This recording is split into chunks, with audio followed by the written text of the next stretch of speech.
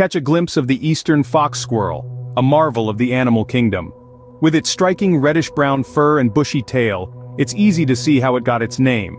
This agile creature can be found dashing through trees in the eastern United States, displaying acrobatic prowess that would put even the best gymnasts to shame. But it's not all fun and games for this squirrel. To survive harsh winters, it must stockpile food, a task requiring strategic planning and sharp memory. Imagine having to remember where you've hidden hundreds of acorns, and did you know?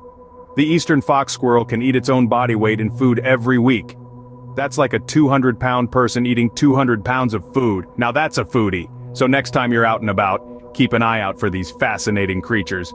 You'll be amazed at what you can learn from the eastern fox squirrel.